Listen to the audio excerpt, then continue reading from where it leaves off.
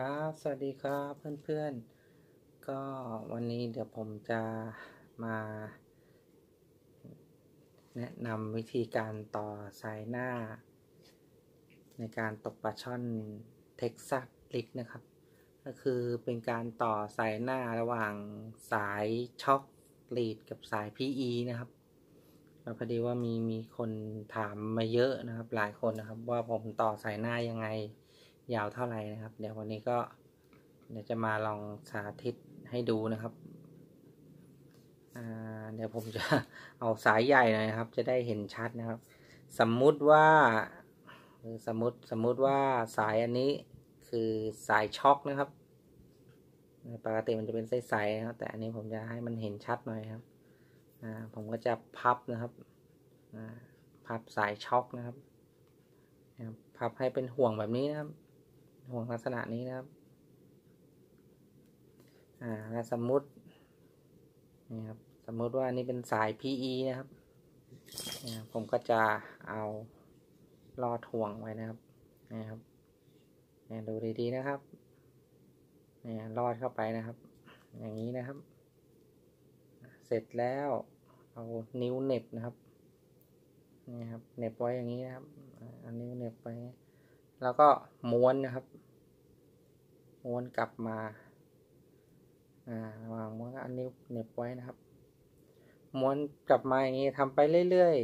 ๆ ประมาณสิบถึงสิบสามรอบนะครับนี่ครับ มันจะนี่ครับมันจะเป็นลักษณะนี้ครับ เสร็จแล้วนะครับ ดูนะครับนี่ฮะอ่า สายพีอีอยู่ข้างล่างเนี่ยฮะ เราก็จะเอาสายที่ม้วนมาแล้วเนี่ยสอดขึ้นบนครับ อ่า เห็นไหมครับ มันจะไขว้กันอย่างนี้ครับ นี่ครับไขว้ขึ้นกับไขว้บนไขว้ไขว้ลงกับไขว้ขึ้นนะครับนี่ครับ เสร็จอ่า เสร็จแล้วตัวนี้ อ่า รอบเดียวไม่พอครับ ต้องแทง ขึ้นไปอีกครั้งหนึ่งแล้วก็แทงขึ้นไปอีกครั้งหนึ่งนะครับถ้าบอกว่าเราแทงขึ้นไปสามครั้งนะครับนี่ครับถ้าว่าเราแทงขึ้นไปสามครั้งนะครับ กันมันรูดนะครับ จากนั้นก็ดึงนะครับเสร็จแล้วมันจะเป็นลักษณะนี้ครับนี่ครับจะเป็นลักษณะนี้ครับ แล้วก็จบด้วยเงื่อน แบบนี้นะครับนี่ครับจบเด้งแบบนี้ครับ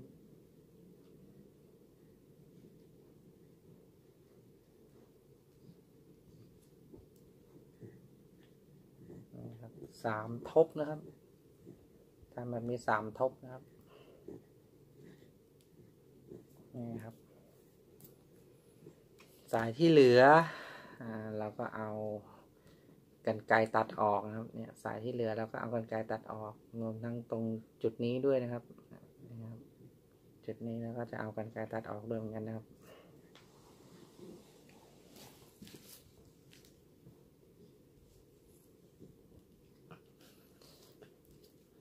เนี่ยเครื่องเงื่อนแบบนี้ไม่ต้องกลัวหลุดนะครับนี่ผมใช้เงื่อนตัวนี้ตก อืม ตกปลากระพงสิบโลก็เอาอยู่ครับไม่รูดนะครับ เงื่อนเงื่อนตัวนี้นะครับ บางคนอาจจะบอกว่าถ้าต่อเงื่อนอย่างเงี้ยมันปมมันอาจจะใหญ่อย่างเงี้ยครับ แต่ว่าสายที่ผมใช้เนี่ยก็คือ อืม สายช็อคมันไม่ได้ใหญ่มากครับ เพราะงั้นปมมันก็จะไม่ได้สะดุดไกลอะไรมากมายนะครับ ทีนี้มาถึงการ ผูกกับตัวเบ็ดนะครับหลายคนก็ถามเหมือนกันว่าผมใช้เงื่อนอะไรผูกกับตัวเบ็ดนะครับนะเดี๋ยวจะให้ดูนะครับนี่ครับสมมุติว่าอันนี้เป็นห่วง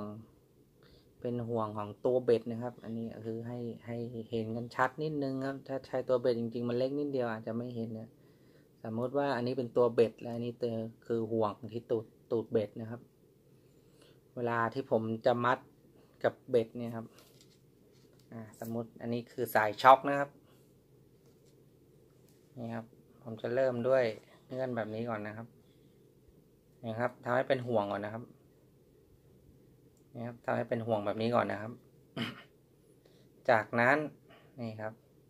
เอาสายนี้ลอดเข้ามานะครับ เอาสายช็อคลอดเข้ามาในห่วงเบ็ดนะครับ อย่างนี้นะครับ เสร็จแล้ว เอาสายแทงเข้าไปในห่วงครับนี่แทงเข้าไปในห่วงอย่างนี้ครับ แทงเข้าไปในห่วง เสร็จแล้วพับเข้ามานี่ครับนะครับพับสายมาอย่างนี้นะครับนี่ครับดูอีกทีนะครับ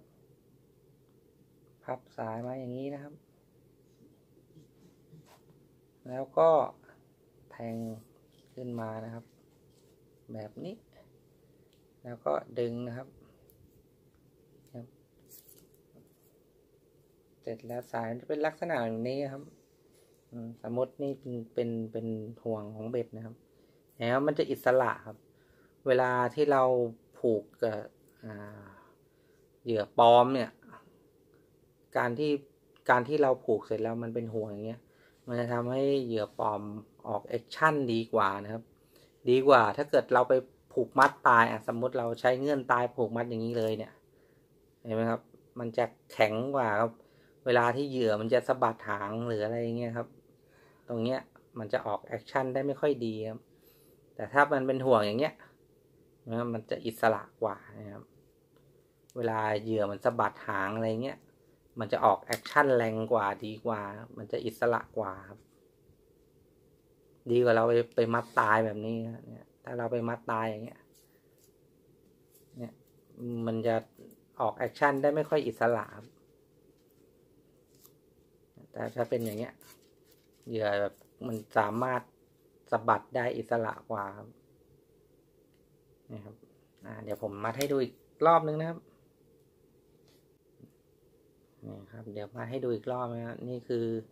ห่วงตูดเบ็ดนะครับ นี่ครับ เริ่มจากนี่ครับ ผูกสายช็อคให้เป็นห่วงแบบนี้ก่อนนะครับนี่ครับ ผูกสายช็อคให้เป็นห่วงแบบนี้ก่อนนะครับ สอด เข้าไปในตูดเบ็ดนะครับนะครับ พอเสร็จแล้วก็เอาสายช็อคนะครับ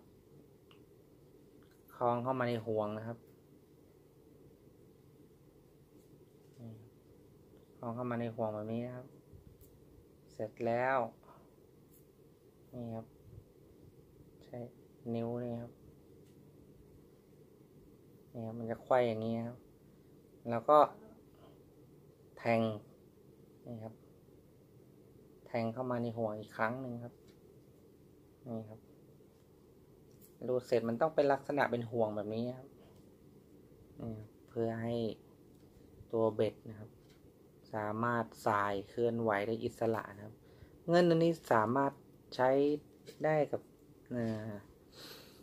พวกเหยื่อปักอะไรก็ได้นะครับ ที่เป็นเหยื่อปลอมทุกชนิดนะครับนะมันจะทำให้การเคลื่อนไหวมันอิสระกว่านะครับ ลองฝึกกันดูนะครับ โอเคสำหรับการต่อสายหน้าของผมก็ประมาณนี้ครับ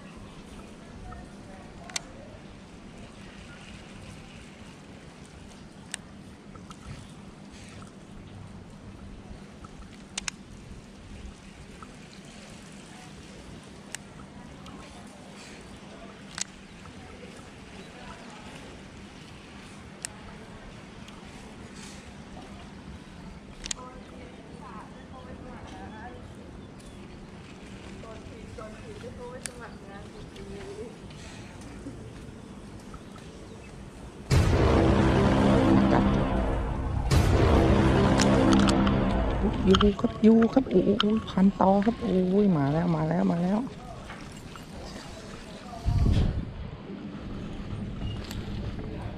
โอ้ยตัวนี้เป็นแผลครับโอ้ตัวนี้ไส้สวยขึ้นมาหน่อยครับ แต่ว่าเห็นไหมครับ นี่ครับที่หางเป็นแผลอยู่นะครับอ๋อที่หางเป็นแผลอยู่ครับ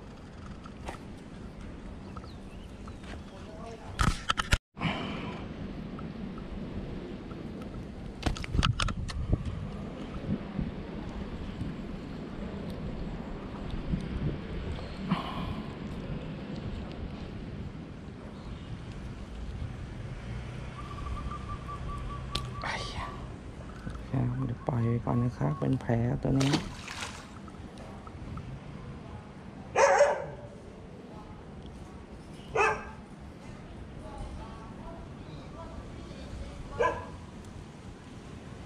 โอเค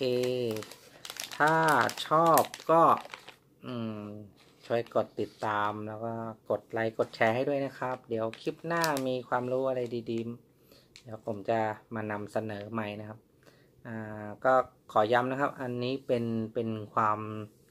คิดเห็นส่วนตัวจากประสบการณ์ที่ผม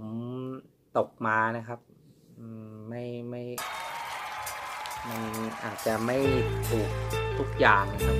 ถ้าผิดพลาดประการใดก็ขออภัยไว้ด้วยนะครับ คลิปหน้าเจอกันใหม่ครับ สวัสดีครับผม